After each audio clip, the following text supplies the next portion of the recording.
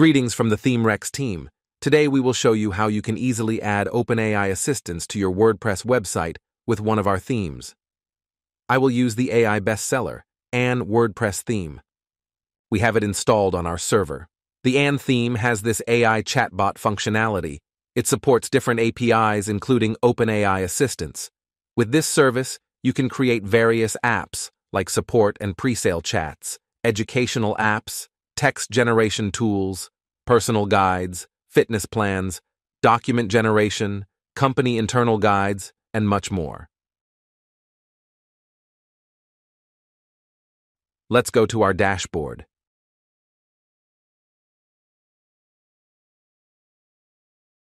Then navigate.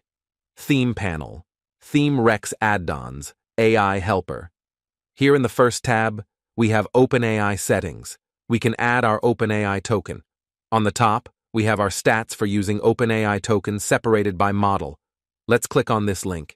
Here we can generate our API keys, available in a paid plan approximately $20 per month. We just need to give it a name, then copy it and paste it into our website.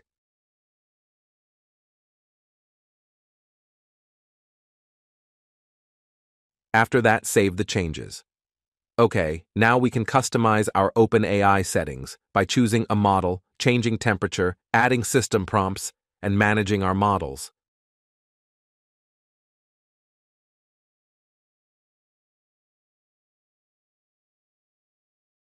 Let's save our settings and go to our OpenAI Assistants tab. Here we can add our assistants. On the top of the screen, we also have the stats for using our assistants. Let's return to our OpenAI account and go to Assistants. Here we have the list of all assistants ever created by us. Let's make a support assistant for our Ann WordPress theme. Next, we need to add custom instructions. I have some instructions prepared beforehand. There are different prompt engineering techniques. We will not dive deeply into this in this video. We've added instructions. Who the assistant is, his main objective, describe the data source, his audience, instructions about his answers, what to do if it does not have an answer, and how to evaluate the result. The more professional and detailed instructions you give, the better the assistant will work.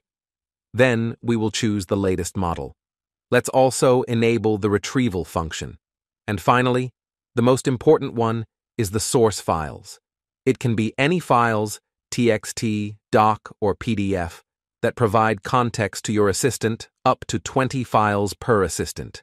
In our case, it can be the official documentation. It has lots of useful data, so we will use it. To make it faster, we will simply select and copy the first part of the text. Then let's open an empty TXT file and paste the text there. It is recommended to carefully prepare the file. But let's try this simple way. Save the changes, return our assistant, and attach the file.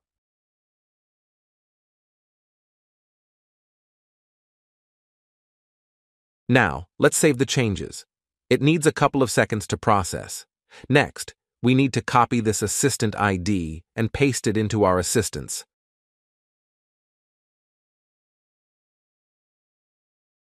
And not to confuse it with other assistants, let's copy the exact name as well. Let's save it. And now, we can add it to our chatbot. Let's go to our AI chatbot demo. Here is our chatbot. We will edit the page with Elementor. Scroll down to our chatbot block and click on it. On the left side, we have multiple customization settings. We can keep the default layout or make it a pop-up, add an additional prompt, change all the texts. Next, we have chat settings, where we can enable different features. For now, we are interested in model. In the drop-down, we can choose our support assistant. We can also add a system prompt and change temperature specifically for this chatbot. Once done, click Update to save the changes. Also, we can search for additional AI blocks. For example, we can add an image generator, text generator, additional AI chatbot, chat topics, and chat history. I want to add AI chat topics.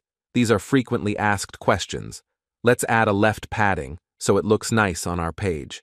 And now, let's change these default topics to our real-life FAQs. Let's make the first topic, how do I get a refund? The second topic, where do I get support? And the third topic, where do I change the logo?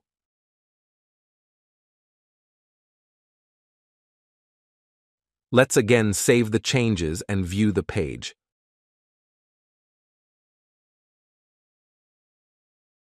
Okay, we have our chatbot with starter questions.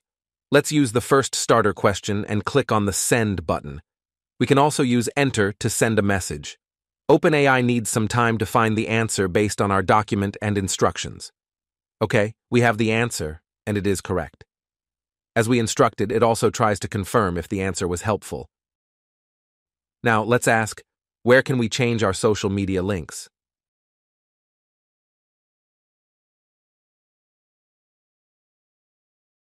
And again, it answers correctly and tries to confirm it with us.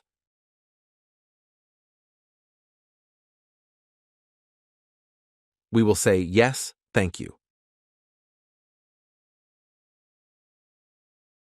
And it finalizes the chat in a friendly manner.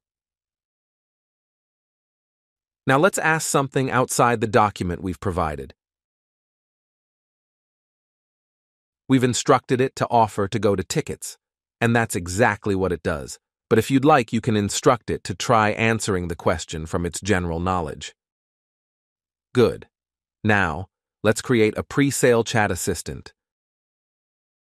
Return to our OpenAI assistants, close this one, and create new. Let's give it the name Ann Presale, and we need to give it instructions. To make it faster, we will go to ChatGPT and tell it that we have instructions for the support assistant and we need similar for the presale assistant. This way, we can save some time on writing instructions from scratch.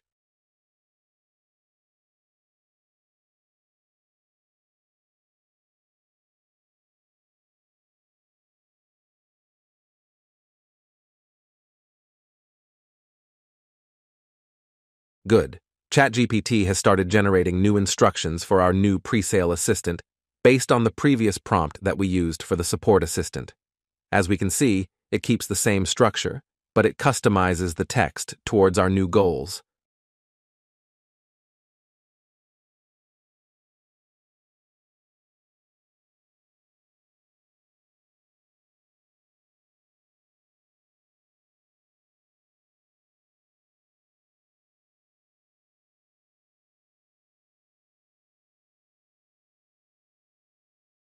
Good. It took some time.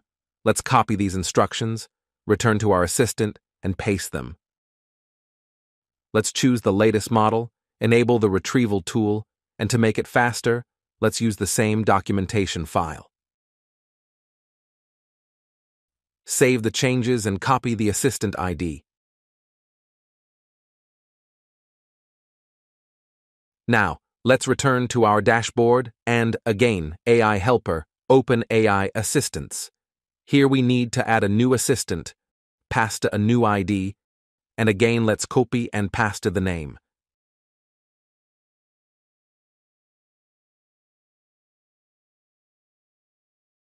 Save the changes and return to our page. Let's again open it with Elementor. Scroll down and add a new AI Helper chat block we can drag and drop it anywhere on our page. On the left side, let's change the layout to pop-up. This way, we will make it a chat widget. We can change its position or slide it horizontally and vertically.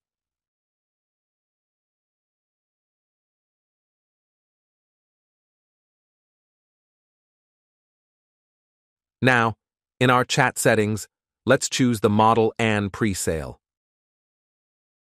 we will put less temperature and save the changes.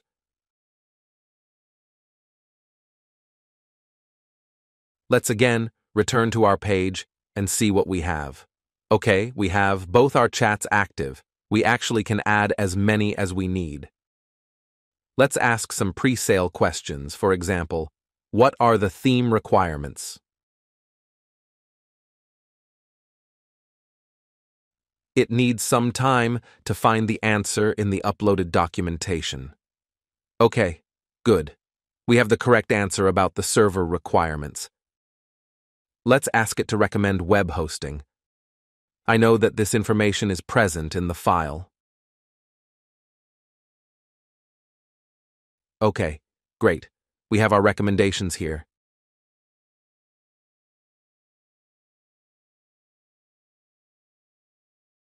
We can minimize and then again roll out the chat window, and we can start a new chat with new questions.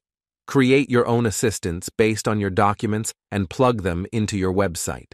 Hope this video was helpful. Please subscribe for more useful tutorials.